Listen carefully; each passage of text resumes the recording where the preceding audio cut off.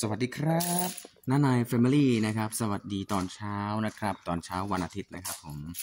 เดี๋ยววันนี้นายจะพาเปิดอาคารพิพิธภัณฑ์ช้างนะครับนะฮะกุญแจมาแล้ววันนี้เวรน้านายนะครับ วันอาทิตย์นะครับ เป็นเวรปฏิบัติหน้าที่ของน้านายนะครับ บางวันก็โดนวันเสาร์บางวันก็โดนวันอาทิตย์นะครับ แล้วแต่วันวันไหนหยุดยาวหน่อยวันไหนหยุดหลายวันเดี๋ยวสลับกันนะครับ อันนี้เคลียร์ก่อนนะครับว่าเราเปิดห้อง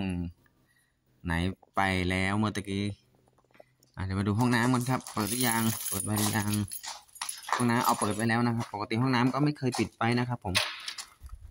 เวลาเวรเวลานอนเวรนี่ก็ จะ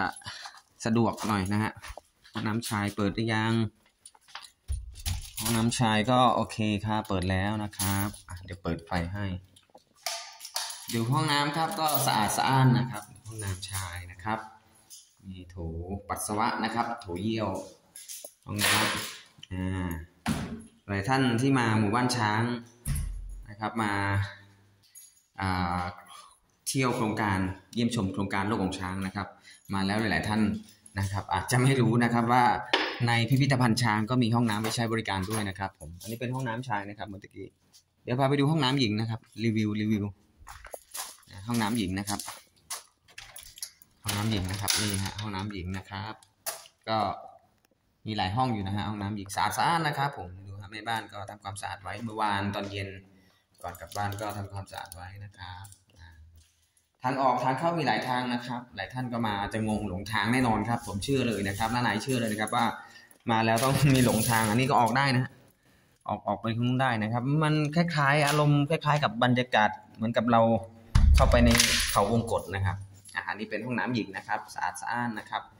เตรียมบริการนักท่องเที่ยวนะครับ มีหลายห้องอยู่นะฮะอ่ามาแล้วต้องมาให้ มาให้ครบหมดทุกห้องนะนะฮะนักท่องเที่ยวที่มาก็ต้องมาให้หมดครบทุกห้องถึงแม้ว่าความรู้ต่างๆ ตอนนี้ยังยังไม่ค่อยเต็มเท่าไหร่นะครับ แต่เรามาอ่าชมบรรยากาศด้านในของของของอาคารพิพิธภัณฑ์ช้างครับว่าอารมณ์เป็นยังไง นี่ครับมันจะมีซอกแซกซอยซอกแซกไปมา อันนี้ห้อง A31 นะครับ ห้องจัดนิทรรศการนะครับเปิดให้ดูครับอ่านานาจะเปิดห้องไว้แล้วแหละเมื่อกี้ก็เป็นห้องแบบนี้นะครับ ผมเป็นห้องบรรพบุรุษของช้างนะครับนี่เป็นห้องบรรพบุรุษของช้างจากสี่งาสู่สองงานะครับนี่ให้ชมคร่าวๆนะครับ ให้ชมคร่าวๆเผื่อท่านใดที่สนใจก็นะก็มาเยี่ยมชมได้นะครับในห้องนี้นะ ไปนี่ฮะให้ชมแบบแบบรวดเร็ว น้านายพาเที่ยว พิพิธภัณฑ์ช้างนะครับดูฮะเข้าทางนู้นออกทางนี้นะฮะมันออกได้หลายอย่างออกได้หลายที่นะฮะหลายเส้นทางอ่ามาเล่นซ่อนแอบได้เลยสบายสบายอันนี้เป็นห้องจัดแต่ก่อนก็เป็นห้องที่จัดนิทรรศการ นะครับอ่าที่ประกวดการแข่งขันการถ่ายภาพนะก็มีที่หนึ่งที่สองก็มาติดไปตรงนี้ ที่นี่ก็คืออ่ามันชื้นนะครับ ห้องชื้นกับทำให้ผลงานเสียหายก็เลย เอาผลงานไปเก็บไว้นะครับทางนี้ก็ออกไปได้นะออกไปทะลุนู่นเลยตรงอ่าตรงห้องห้องประชุมนะฮะตรงนี้เลี้ยวขวานะออกไปทะลุตรงช้างแท็กซี่ได้เลยนะฮะอันนี้ก็ออกได้ฮะอันนี้เป็นทางหลักนะครับ ซอยนี้นะฮะนี่โอ้นี่ฮะเข้าไปนู่นครับ ออกทางออกนะฮะตรงข้ามเวลานแสดง แล้วเข้านี้นะฮะเลี้ยวเลี้ยวซ้ายนี่ก็ มันจะเข้าห้องพิพิธภัณฑ์นะครับ ความรู้ เรื่องช้างต่างๆนะครับ ก็อยู่ห้องนี้นะครับนี่ฮะพาชมพาเที่ยวครับผมเผื่อท่านใดที่สนใจครับ ชมคลิปนี้แล้วอยากจะมาเที่ยว อยากจะมาชมความงดงามสวยงามนะฮะของโครงการเรานะฮะก็มาได้นะครับ หน้าร้อนไม่ร้อนนะครับ เพราะว่าโครงสร้างนะครับ การก่อสร้างก็จะใช้อิฐแดงนะเป็นอิฐนะครับ แล้วก็ไม่มีการฉาบด้วยนะครับนะไม่มีฉาบด้วยนะฮะก็จะสามารถลดอากาศร้อนความร้อนเข้ามาในห้องได้นะครับอันนี้จะเป็นเรื่องราวของกระดูกช้างโครงกระดูกช้างต่าง ๆ นะครับอยู่ในห้องนี้เลยมาห้องที่สองนะฮะอะห้องที่สี่ห้องสุดท้ายนะฮะต้องวนกัน ต้องวนดูนะฮะ ไปต่อเลยครับนายเปิดห้องไว้นี่เรียบร้อยแล้วไปต่อครับผมอ่าเปิดประตูไว้ตั้งแต่ อ่า ต้องต้องมาแต่เช้านะครับแปดโมงแปดโมงเป็นโมงถึงแปดโมงครึ่งนะครับ มาเปิดประตูไว้นะครับ อันนี้เป็นทางออก เข้าก็ได้ออกก็ได้ครับ มันมีเส้นทางออกเข้าสี่ทางนะ อันนี้ก็เป็นอีกหนึ่งห้องน้ำว่าใช้บริการนะครับ เดี๋ยวพาไปดูห้องน้ำครับ เดี๋ยวมาหมู่บ้านช้างมาโครงการโลกของช้างแล้วหาห้องน้ำไม่มีไม่เจอนี่เลยครับ ในพิพิธภัณฑ์เราก็มีห้องน้ำนี่ห้องน้ำชายนะครับห้องน้ำชายอยู่นี่นะห้องน้ำชายนะครับมันชายหรือหญิงวะเออชายมั้งเดี๋ยวดูก่อนครับชายหรือหญิงทามทามทามทามห้องน้ำห้องน้ำห้องน้ำอะไรอะไรชายวะ ติ๊กเกอร์หายอะโอ้เข้าได้ทั้งสองอันนี้เป็นห้องหนึ่งครับ อันนี้ห้องน้ำชายครับ โอ้ยเมื่อตะกี้เข้าห้องน้ำหญิงอันนี้ห้องน้ำชายครับอันนี้ห้องน้ำชายนะครับนู่นครับสะอาดสะอ้านนะครับ นี่ห้องน้ำหนึ่งจุดนะครับ นี่ห้องน้ำเลยนะครับ ห้องน้ำชายนะครับเข้าห้องน้ำผิดชีวิตเปลี่ยนนะเออเวลาเราถ่ายสมมุติว่าถ่ายถ่ายคลิปในช่วงกลางวันนักท่องเที่ยวกำลังพลุกพล่านเยอะๆนะ แล้วสมมติว่านายเข้าไปห้องนี้ อะไรจะเกิดขึ้นครับท่านผู้ชมสุขุสุขนนี่ห้องน้ำหญิงนะครับ ผมเข้ามาก็ผิดห้องในตายแล้วเปิดไฟก่อนเออไฟสลัวสลัวนี่ห้องน้ำหญิงนะครับสะอาดสะอ้านนะครับ มีสิงล้างหน้าล้างมือนะครับ ผมมีหลายห้องให้ใช้บริการเลยนะครับนี่ห้องน้ำหญิงนะฮะปิดไว้ก่อนนะครับ เดี๋ยว เดี๋ยวเพื่อนจะเข้าไปเล่น ห้องน้ำหญิงนั่นนี่นะเออเข้าผิดชีวิตเปลี่ยนนะครับ แต่เข้าในช่วงแขกเยอะๆในซวยเลยนะนายเนี่ย อืมเออนี่ไงต้องสังเกตดูนี่ฮะนักท่องเที่ยวครับสังเกตป้ายนี้นะครับ อันนี้ห้องน้ำชายนะครับ ห้องน้ำหญิงนะครับ ถ้าเข้าไปเลยโดยไม่ได้สังเกตนะครับ ว่าป้ายทางไหนก็จะเข้าผิดหน่อยนะแล้วก็ต้องสุ่มเอานะฮะอืมอะต่อไปไปห้องนี้กันครับ ห้องนี้จะมีสระ อยู่ข้างๆด้วยนะครับสระน้ำพุนะครับก็คิดว่าโครงการว่าเราจะเอาบัวนะฮะต้นบัวมาใส่ปลูกบัวนะครับปลูกบัวไว้นะครับบำบัดน้ำด้วยนะครับตะไคร่น้ำเยอะ ตะไคร่น้ำเยอะนะฮะก็จะเอาบัวหรือว่าเอาเอาบัวเนี่ยอยากอยากจะให้อยากจะได้บัวนะบัวมันดูสวยดีมันสามารถที่จะอ่าไออะไรล่ะเขาเรียกว่า มันจะใช้พวกนี้เป็นอาหารได้นะบัวนะค่อยนอนไปเข้าไปห้องนี้ครับผม D7 นะครับห้องนิทรรศการอ่าเอาข้างไหนเอานี่เนาะอ่านี่ไปเอาปิดต้องปิดปิดไว้นะครับ เดี๋ยวหมาเข้าไปกัดเล่นนะครับ เพราะว่าสุนัขจรจัดเยอะครับ แต่สุนัขจรจัดเราที่นี่ก็ไม่มากวนนักท่องเที่ยวนะฮะเพราะอยู่ของเขาเพราะอยู่ในป่า อยู่ในป่าอยู่ในป่าช้าง นี่เป็นห้องความสุขของช้างนะครับนี่ความสุขของช้างก็อยู่ฝั่งนี้นะครับผมไปต่อครับผมเหลืออีกหนึ่งห้องนะยังไม่ได้เปิดนะครับอะออกมาทางนี้ครับ อันนี้ต่อเลยงงไหมครับ ตอนนี้ คือท่านใดที่ชมคลิปนี้นะครับอ่าเพื่อนๆที่ชมคลิปนี้นะฮะจะเวียนเวียนหัวหน่อยนะอ้าวทางนี้ครับก็ทางคนสวนก็มาได้ย่าทางนี้ออกนะส่วนทางนี้ก็ไม่ค่อยมีนักท่องเที่ยวเข้าออกเท่าไหร่ครับ ผมว่าเป็น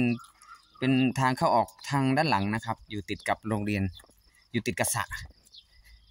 นะครับอยู่ติดกับสระสระโรงเรียน ก็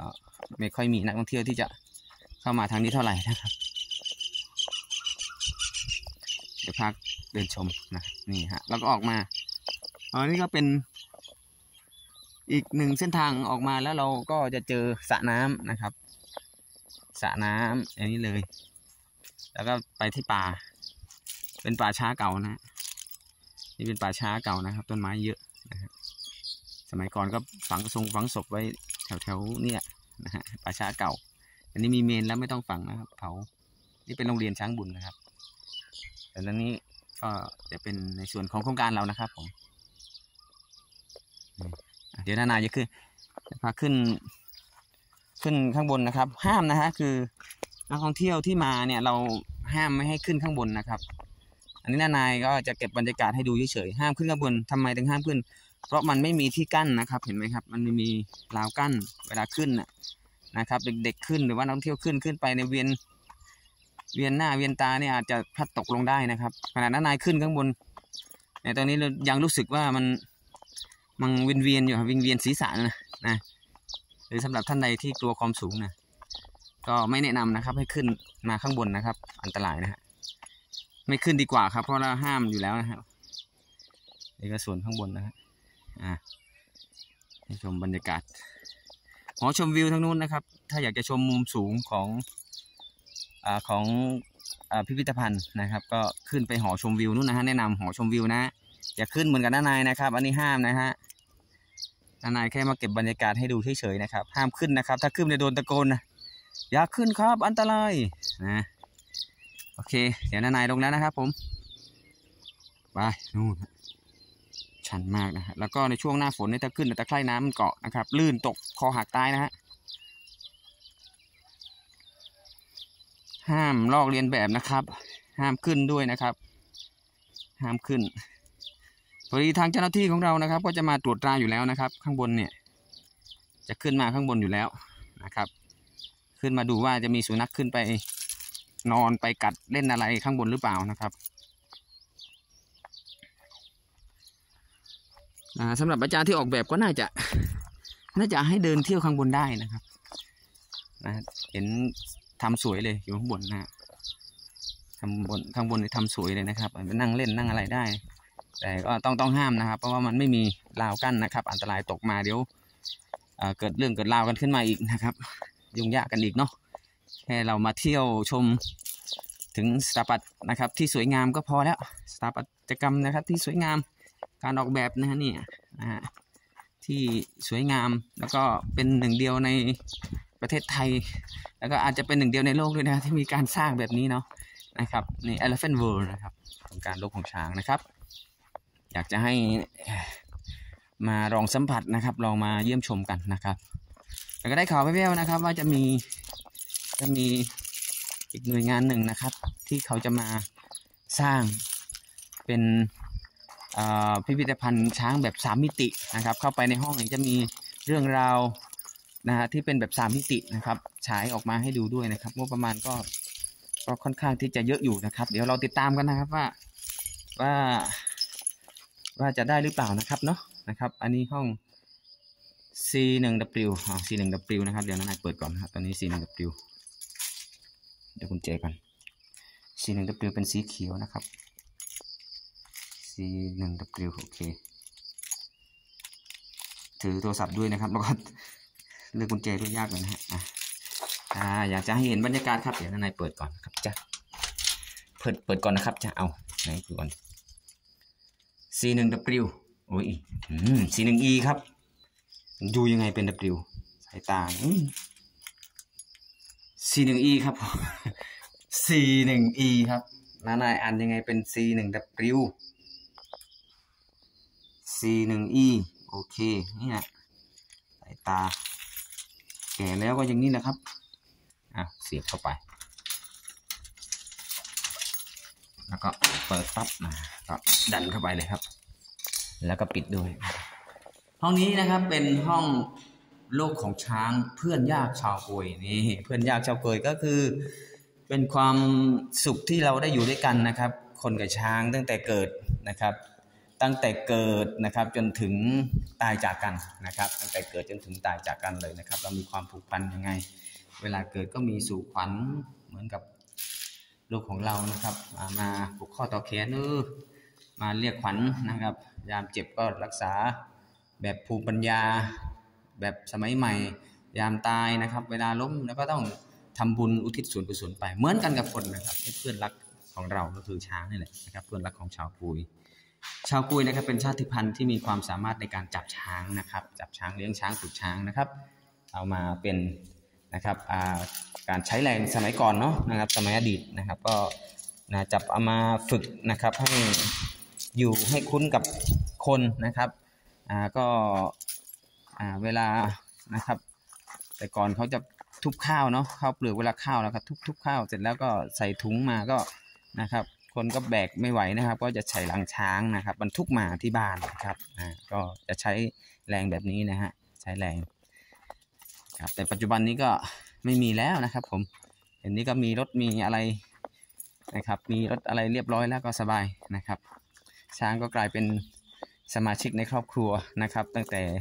อดีตจนถึงปัจจุบันนะครับ อันนี้เป็นอีกหนึ่งทางออกนะครับ ผมทางออกสี่ทางพอดีนี้โอ้ เดี๋ยวไปเอารถมอเตอร์ไซค์นะครับน้านายจอด อ่า คลิปนี้น้านายพาเที่ยวพิพิธภัณฑ์ช้างเลยนะครับนะเปิดท่านใดที่สนใจนะครับนะพี่พี่เพื่อนๆนะครับ คุณพ่อคุณแม่ท่านใดที่สนใจก็อย่าลืมแวะมานะครับ เที่ยวศูนย์คตรศึกษาโครงการโลกของช้างเรานะครับนะครับ มาดูมาเยี่ยมช้างนะครับ มาดูพิพิธภัณฑ์ช้างนะฮะ ดูนะฮะนี่คือพีระมิดนะฮะพีระมิดสุรินนะเขาเรียกว่าพีระมิดสุรินนะฮะนะมุมนี้ไม่ค่อยโดดเด่นเท่าไหร่นะครับ แต่ต้องมุมนี้นะครับ มุมนี้นะฮะมุมนี้นี่มุมนี้มันจะเหมือนกับพีระมิดเลยนะครับเราไปใกล้ๆอย่างเงี้ยนะครับเวลาเราถ่ายรูปเราไปใกล้ๆนะครับ มันจะเหมือนกับพีระมิดนะฮะเนี่ยมุมนี้นะครับเวลาเราถ่ายรูปมันก็เหมือนกับพีระมิดนี่ถ้ามีแสงแดดมันจะมีเงานะครับ เงาเงาแบบ มันดูเหมือนสามมิตมันดูพีระมิดเลยครับ ผมอ่าถ้าเราถ่ายรูปถ่ายรูปนิ่งนะนะครับวิดีโอมันก็ไม่ค่อยอันนั้นเท่าไหร่นะครับ ถ้ามีแสงแดดมันมาก็มันจะมีเงานะฮะแล้วก็เหมือนกับพีระมิดเลยเอานายลอง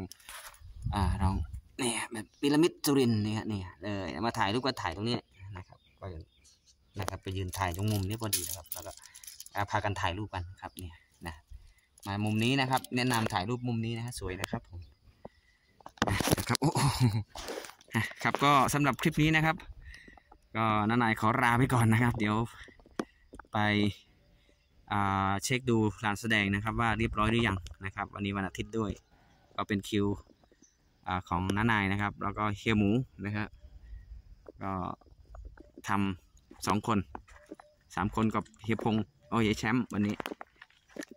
ดูมาหรือเปล่ามาหรือยังก็ไม่รู้อะเดี๋ยวนานายขออนุญาตไปเคลียร์พื้นที่นะครับที่ลานแสดงก่อนนะครับผมครับสำหรับคลิปนี้ฝากกดอ่ากดไลค์ให้ด้วยนะครับ ถ้าหากว่ามีประโยชน์นะครับ ก็กดแชร์ให้ด้วยนะครับผมนะฮะเป็นการโปรโมทสถานที่ท่องเที่ยวนะครับของหมู่บ้านช้างนะครับโครงการลูกของช้างเรานะครับ แล้วก็อย่าลืมมาเที่ยวหมู่บ้านช้างกันเยอะๆนะครับ ผมมาเป็นกำลังใจนะครับให้กับน้องๆช้างนะครับ ของเรานะครับ แล้วพบกันใหม่คลิปหน้านะครับ คลิปนี้ลาไปก่อนนะครับ สวีดัสสวัสดีครับ